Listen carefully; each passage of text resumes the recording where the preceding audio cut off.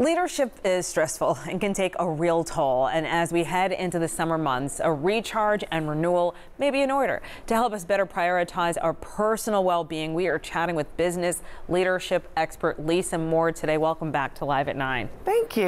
Oh my goodness, the stress. Why The is stress. self care so important with leadership? Well, it's, you know, heavy is the head that wears the crown. So when you're leading, it is stressful. And there's not a leader out there that isn't shaking their head like, amen, sister, to that, right? And um, so what happens it, too often is we're like, I'll plan a vacation, I'll take a week off. It's not enough. Kontji, we have to really think about what are the things we can do on a daily basis that renew us to be in the good work and the hard work. Right, so the in betweens. The in-betweens. Okay. So, what do you do to take the stress off as you're leading? Correct. Well, the first thing that you need to do is it, it's we've learned that regular exercise actually has a huge impact. Right. You have a list of, of, do. of things that we I can put up, I do. believe. Yeah. Yeah. So there we go. Yeah. So exercise number one, and, you know it's kind of one of those things, kind of like duh, Yeah. Mm-hmm. right? But But so hard. Do it. But here's the good news. Here's the good news.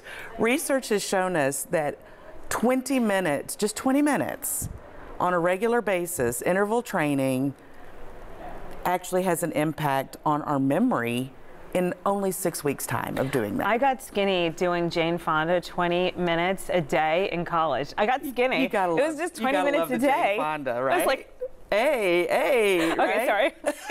and then there was uh, step two. There was uh, Yes. sleep. Right. Sleep. Again. Duh. Duh. But so hard. Yeah.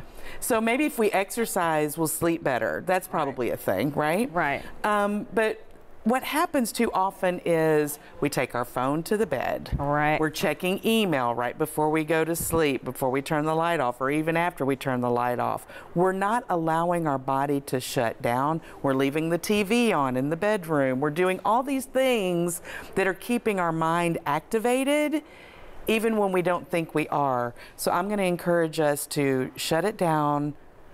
Maybe okay. I was I wanted to say an hour. Let's 30 minutes. Okay, okay. I could do Before that. going to bed, put it in a drawer or something. Don't look at the phone. Don't look at a TV. Don't listen to music. Just go to sleep. Okay, let's look back at that list. Okay, so avoid superhero syndrome. Mm.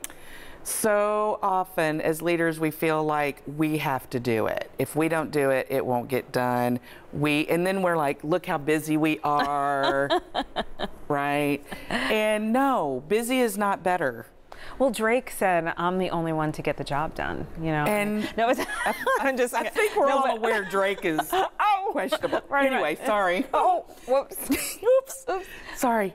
So Because he didn't come to Memphis. He did not come to Okay, Memphis twice. Yes.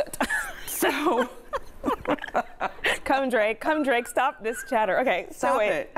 So, um, yes, superhero syndrome is super dangerous because if you think you're the only one that can get the job done, you're going to burn out.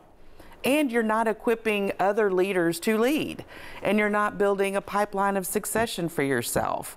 You're not raising others up. So stop being a superhero, delegate, um, Right. Share the, the, the, the Right. load Lighten the load. Yeah. lighten the load, mm-hmm. get a coach, mm-hmm. all the things. and and know your Lighten load. purpose. Yeah. So once you stop being the superhero and you can start delegating and sharing, like I said, you're building the capacity of others. You're being a better leader by equipping others to succeed, and it allows you as a leader to be more strategic. Stop being busy on the tasks, and you need to be more visionary and strategic.